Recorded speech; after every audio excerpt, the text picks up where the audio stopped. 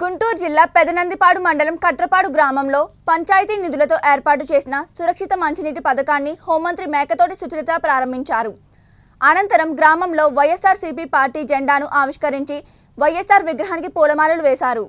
ప్రభుత్వాల నుండి వచ్చిన నిధులను ఉపయోగపెట్టుకోవాలి నిధులు వృధా చేయరాదని మంత్రి అన్నారు. అదేవిధంగా గ్రామంలో పది లక్షలతో సీసీ రోడ్డు పనులకు అనుమతులిచ్చామన్నారు చెరువు పూడికతీత పనుల గురించి గ్రామ సర్పంచ్ కొమ్మినేని అనంత దుర్గాప్రసాద్ హోంమంత్రికి వివరించారు. త్వరలోనే చెరువు పనులు ప్రారంభించుకోవచ్చని సరిపడా నిధులు వచ్చే విధంగా చూస్తానని అన్నారు.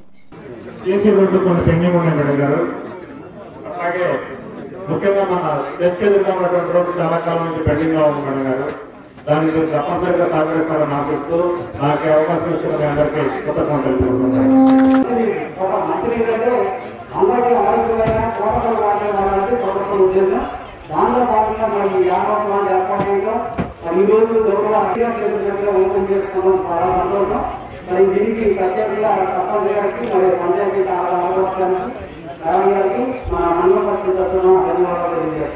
ఉంటాడు అనుకునేవాడిని నా బెస్ట్ సర్పంచ్ అవుతాడు.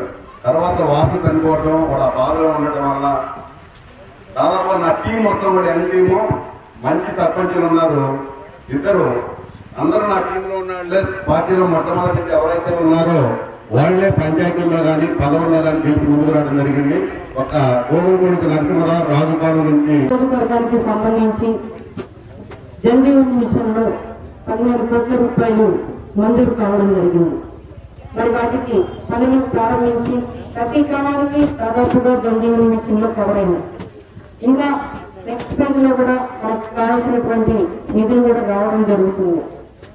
మరి మనమందరం కూడా అన్ని గ్రామాలలో కావాల్సినటువంటి తాగునికి సరఫరాను మెరుగు మెరుగుపరుచుకునే విధంగా వచ్చినటువంటి నిధులను మనం వృధా చేసుకోకుండా అన్ని గ్రామాల్లో సద్వినియోగం చేసుకోవాలని మనస్ఫూర్తిగా కోరుతా ఉన్నాను ఎందుకంటే నేను గమనిస్తుంది ఏంటంటే దానికి సంబంధించినటువంటి వల్ల అవి వెనక్కిపోవడం మళ్ళీ మళ్ళీ ఆ గ్రామానికి నిధులు సమకూర్చుకోవాలంటే చాలా కష్టమవుతున్న పరిస్థితులు ఉన్నాయి కాబట్టి వచ్చిన వాటిని వచ్చినట్లుగా మనం సద్వినియోగం చేసుకున్నట్లయితే మనకు చాలా వరకు గ్రామ అవసరాలన్నీ కూడా తీరిపోతూ ఉంటాయి.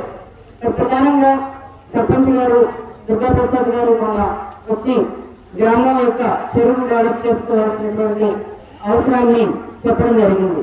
ఎందుకంటే ఈ చెరువు ఎప్పుడో కూడి కూడిపోయి గ్రామ అవసరాలకు సరిపడినటువంటి నీరు ఉండటం లేదు.